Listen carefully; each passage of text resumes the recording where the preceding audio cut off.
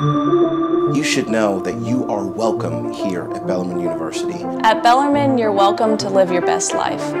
You are welcome to ask for help and receive it. You are welcome to face your future unafraid.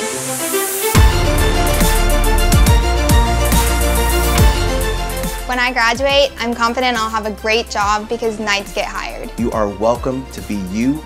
You are welcome to be on that journey of self-discovery. We want you here.